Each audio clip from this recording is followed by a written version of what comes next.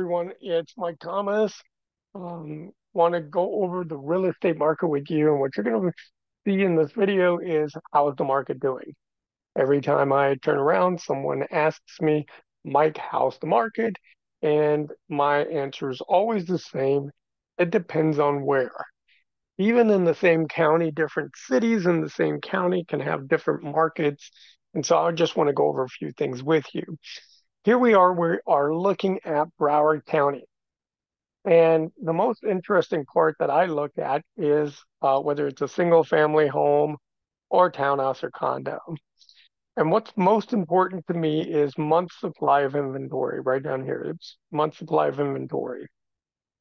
And the reason I look at that is because anything more than six months of inventory is considered a buyer's market. Anything less than six months is considered a seller's market. So right now in Broward County, uh, if somebody came to me and said, Mike, I want to buy something in Broward County, how's the market? Uh, I would say if you're looking for a single family home, we are still in a seller's market, uh, which is rapidly changing over last year. It was only two and a half months on the market. That means that we have four months worth of inventory. What that means is if there's 100 houses selling per month, we have 400 on the market for sale. That means it's going to take four months to get rid of all 400 properties. Uh, if they are selling 100 uh, properties per month, that's what that means. Okay. Now, when we're looking at something different like townhouses and condominiums, and I look at month's worth of supply, oops, a month's worth of supply, we're now over seven and a half, almost seven and a half months. When someone comes to me and says, Mike, I want to sell my condo or townhouse, how long do you think it's going to take? I'm going to tell them about seven and a half months. That means you have your property priced at market value. I do all the marketing that's necessary to get your home sold. It could take up to seven and a half months now. Where before, last year, it was only 3.3 months. Uh, this is a huge factor. Now, if you're looking at prices over last year, prices are still up, uh, but it's taking longer to sell, both in the uh, single family and um, condo and townhouse market. Prices are up, but they're taking longer to sell, and that's Broward County. So let's take a look at uh, Palm Beach County. Let's see how we're doing there we're at 4.4 months of inventory. That means uh, with the amount of listings that we have currently of five, a little over 5,000 listings, it's going to take about 4.4 months to sell those 5,000 uh, listings. Where last year uh, there were less listings on the market, less inventory as we call it, um, of 3,600, almost 3,650. Uh, and it took about 3.1 months to sell off those those homes. If you ask me how's the market in Palm Beach County, Palm Beach County as a whole, um, countywide, is still a seller's market uh, in 2024, and we are looking at the month of April, and we were looking at the month of April for Broward County as well we're always about a month behind because the statistics don't really come out until the following month. Um, so keep that in mind. Uh, it's not real time. There are no really real time statistics. I mean, as close as we can get, I'll, I'll show you some things that might give you a better idea. But here in Palm Beach County, the way that things work is that um, we're, we're still considered a seller's market because this is less than six months uh, for single family homes right up here. And for townhouses and condos, we are definitely a buyer's market. So if you're looking to buy a, a townhouse or condo, it is a buyer's market. If you're looking for interest rates to change, you know, uh, my personal opinion on that is interest rate is is actually for people who are not wealthy. The people who are very wealthy don't care about interest rates because they're paying cash for houses anyway. They're not going to borrow money. They have money. Um, so who does it affect? The lower middle class, mostly. It affects the interest rates. I don't know if the government thinks that and takes that into consideration, but um, just my personal opinion, it never affects anybody except for first-time home buyers, people that really need to borrow money to buy a house, uh, to get the American dream. So in Palm Beach County, um, what I wanted to show you is there's different uh, cities in Palm Beach counties that do better. Like, for instance, in Palm Beach County, uh, the town of Jupiter, um, Palm Beach Gardens, North Palm Beach, Boca Raton, Delray Beach, Wellington, they normally do quite well um, when the rest of the, the county is not. Some of the other uh, cities that are not doing as well in Palm Beach County, maybe some of the smaller cities um, that are in the heart of Palm Beach Gardens. If I listed them or named them, uh, you probably wouldn't recognize them, but there are several, several, almost a hundred cities in Palm Beach County alone, from small townships like uh, you know, uh, Palm Springs, Florida. Nobody's heard of Palm Springs, Florida. It's very small. Or um, uh, Jupiter Inlet Colony, also very small, less than 400 houses in the entire city of Jupiter Inlet Colony. Um, and so what happens here is each area is different based on the demographics, based on what how many homes are there.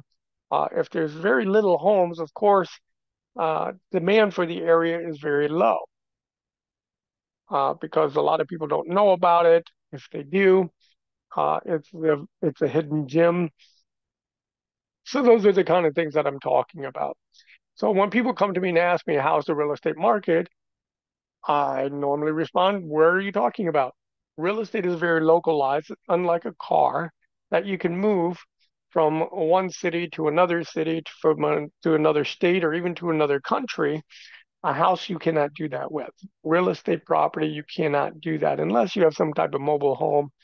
But really, that's not considered real estate. Real estate is the land that the mobile home sits on. The mobile home is actually considered an improvement on the land, not the actual real estate itself. So keep that in mind if we go down to or go up to Martin County here in Southeast Florida, we're seeing about the same thing happening. We're still a seller's market in new in single family homes. Uh, last year it took less than three months to sell off everything that uh, was on the market. Now it's taking 4.1 uh, months, but we do have more homes on the market than we did last year of single family homes. Townhouses and condominiums, um, again, it is a buyer's market right now for townhouses and condominiums, whereas last year it was a seller's market. Even and here we actually see a decline in price. And if you're waiting for properties to decline even more and decline even more and decline even more, um, you may be waiting a long time.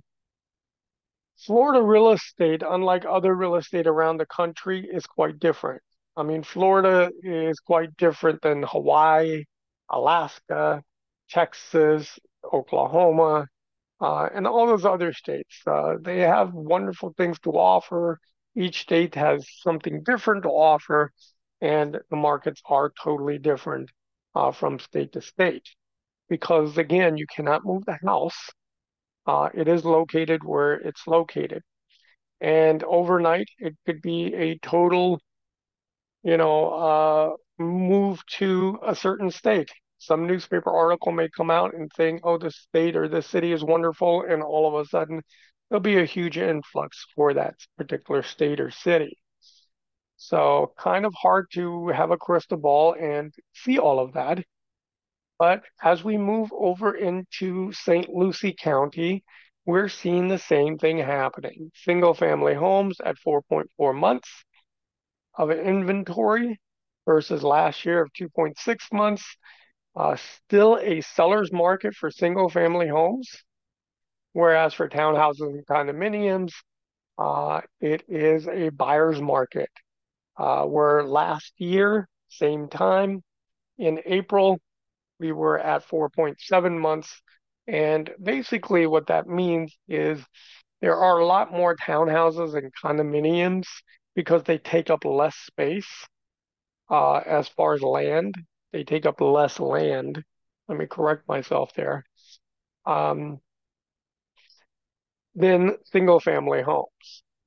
Uh, and so therefore there's a lot more of them and there's a lot more supply than there is demand for townhouses and condominiums. So again, we do see the prices still up. Last year, uh, St. Lucie County was at 380. Now it's uh, 4035. Um, inventory is nearly double the amount of homes that are on the market. And so therefore the amount of time it takes to sell those additional homes have more than doubled as well, or doubled as well. When it comes to townhouses and condominiums in St. Lucie, we can still see that prices are still going up. Last year was 305. Uh, this year, uh, 324. And let me just make a note of this. A lot of people were waiting for the interest rate to drop. And what I don't understand is they lost $15,000 in equity over one year. Um, you might save yourself maybe about a thousand, a couple thousand dollars uh, by having a higher interest rate as opposed to the lower interest rate per year, but you just lost fifteen thousand dollars. So now you're at a net of maybe of a loss of twelve thousand dollars. You didn't gain anything. Uh, the appreciation is much better than the additional interest you're paying. And you can always refinance a house once you have it. I mean, the crazy saying is uh, marry the home and date uh, the interest rate, but um, you know you can always refinance, and that's not never a problem with us here. Uh, in fact, if you call our office, we'll actually tell you how to get a lower interest rate uh, and tell about the time that these rates could be changing, uh, which is something neat that we do. We have a negotiation tactic uh, technique that I might explain in a different video as far as getting a maybe 1% to 2% lower interest rate now um, and buying a house. And then, of course, when the interest rates drop, it automatically will be switched over to um, a, a lower fixed rate for you. Kind of neat.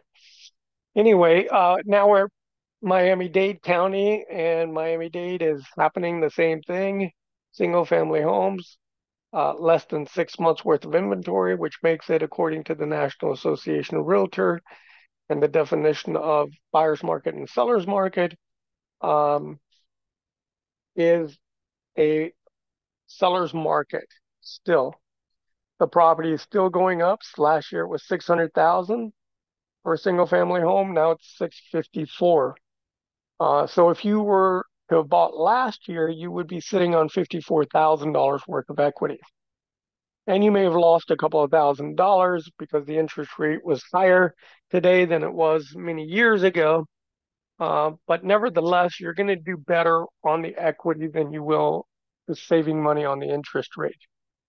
So, my personal opinion on interest rate is 8% is normal, 6% is low, 10% is high and anything lower than 6% is a gift from God. Um, when we look at townhouses and condominiums in the Miami Dade area, uh, we are looking at 8.3, 8.3 months on the market. If you came to me and said, I live in Miami Dade County and I'd like to sell my condo or townhouse, how long do you think it's going to take to sell? I'm going to say count on a approximately eight and a half months. Wow, huh? So that's a big, huge difference. Prices are still up, higher than it was last year, of about $30,000. Uh, so there's still $30,000 increasing in price. And again, you're not going to save that kind of money uh, with a lower interest rate if it were a couple of percentages lower. We have different techniques and and strategies to help you uh, work around those issues as far as down payments and price and those kind of things. So if you're interested in buying, if you want, give us a call. We'll be more than happy to go over everything with you and give you a free private consultation. Um, so last year, the townhouses and condominiums here uh, were at almost five months. Uh, and now the inventory is getting more and more and more. And so this is the real estate market from Miami-Dade, Broward, Palm Beach, uh, Martin, and of course, St. Lucie County. Uh, remember that each county has cities within those counties, and uh, those could be doing better or worse uh, than the county average. Uh, here is Florida as a whole, and month supply and inventory for single family homes, uh, the entire state of Florida. I'm going to just take a look at townhouses and condominiums. And we can see that that is changed as well over last year. Last year was three and a half months. This year, nearly seven months. Uh, and these are the, of course, the averages for the entire state of Florida. I can change that to any any place that you want, whether it's Miami or Tampa, St. Petersburg, Clearwater area, uh, that metro area. And we can take a look at that. And again, right now, the townhouses and condo market in the St. Peter Clearwater area uh, is still less than six months, which makes it a seller's market. Uh, if we change that to single family homes, then we can see that that's three months worth of inventory over last year of less than two months worth of inventory. And we can see these statistics. These are statistics that we as real estate agents use to evaluate to see how the market is doing. So again, if you come to me and you ask me how's the market doing, I'm going to always give you the same answer, and that is where are you talking about? What city in Florida are you talking about? Or even if you're not talking about Florida, I have statistics that can show you um, what the market is like in any other state. So if you like this video, please subscribe. If you think it was useful information that we gave you, that's wonderful. Give us a thumb up, like, share the love, give us some like. And um, we'd love to have you uh, as a subscriber in the near future.